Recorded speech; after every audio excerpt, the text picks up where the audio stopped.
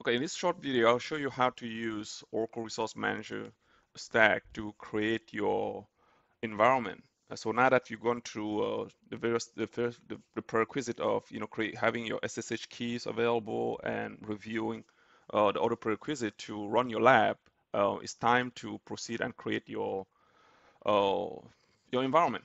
Right. So here we're gonna go to the menu here, go down to Resource Manager and Stack. Right. So create stack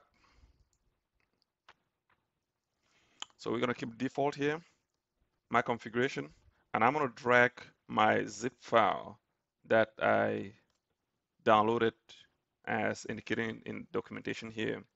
So drag it here. This contain uh, my entire configuration. All right. So we keep the default name. Uh, description is already provided there. Uh, we're going to go next. So in this case, um, let's say you're just creating one instance, you just leave the count here to one, or but if you were creating for a team of let's say 10 developers or 10 uh, DBA or 10 users, um, then you change that count accordingly, right? So in this case, we're only going to do one, right? Uh, select an availability domain. So let's say we pick availability domain three, and then I have to put my SSH key, the public key, not the private, the public key that um, created earlier.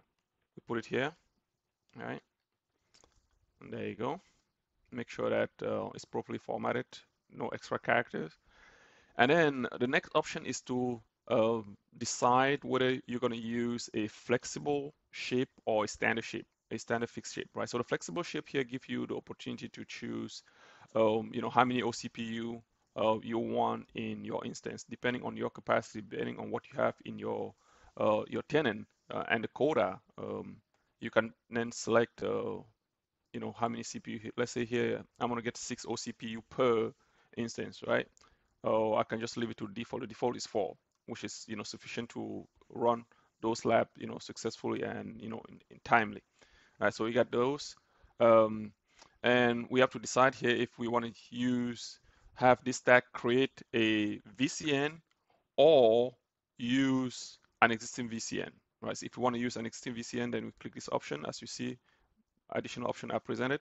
So we have to select a VCN that is available, um, and then a subnet, a public subnet, a regional public subnet that is available in that subnet as well, in that uh, VCN. So we got to select that, right? And bear in mind that they have to conform to the requirement in terms of the port. So port 7803 for EM console and port 22 for SSH has to be available on that CN, uh, that VCN. If you're not sure, just uncheck this and let the system create, let the stack create a VCN for you that conform to the norms, right?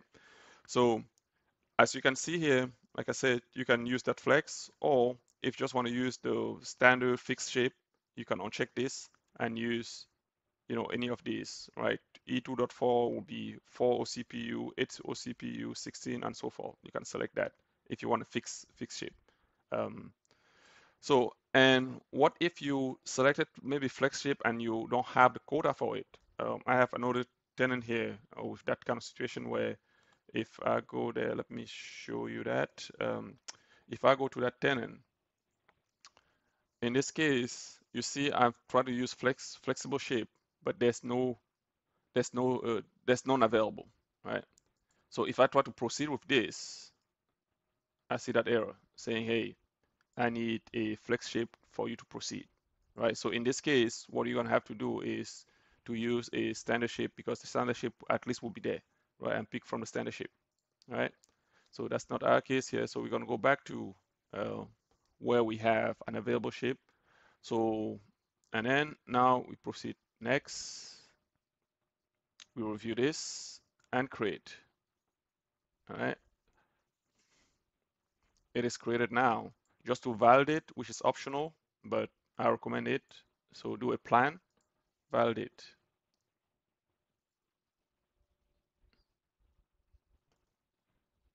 All right, it's gonna run pretty quick here. Should be done very soon. So this is pretty much done here. So when we execute this, it's gonna create eight resources right? And those are all the various resources, you know, included here. So for VCN, we can see here that it's creating, you know, all the ingress rules uh, that we need to execute this. It's creating the subnet, you know, the route and all that for that specific VCN, right? And it's creating the instance, you know, one instance and everything else, right? So that's good. Now, this is where the real execution comes in. So we're going to do an apply.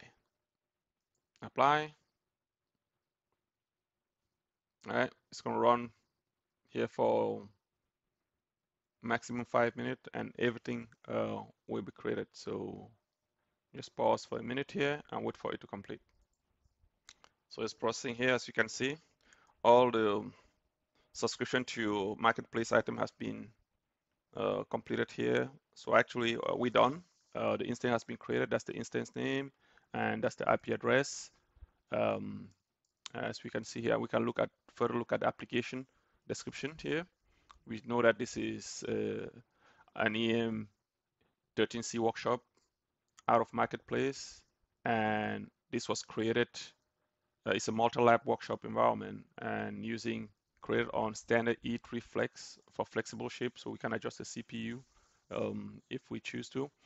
And that's the name of the instance and IP addresses. If we have multiple all the names will be shown here and all the IP addresses also will be shown here just like um, you know this output down here right?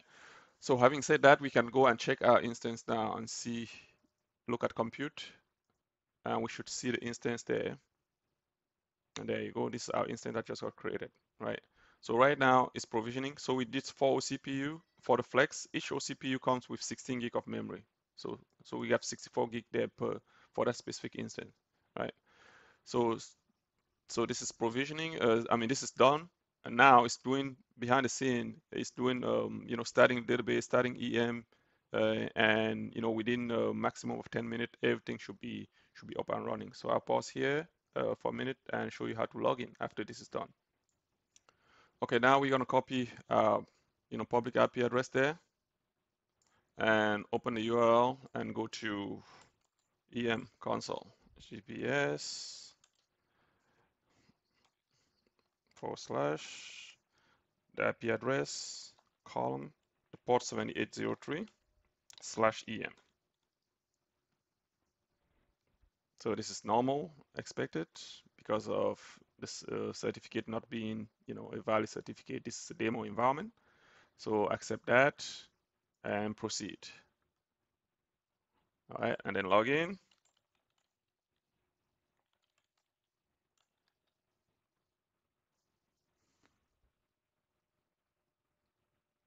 And there you go. Now you're ready to start your labs. So, you know, all labs that you see in the manual on, um, on the menu, on the um, documentation on the left, on the right side of the menu uh, should be able to execute all those labs, you know, now. All right. Thank you. This complete our video.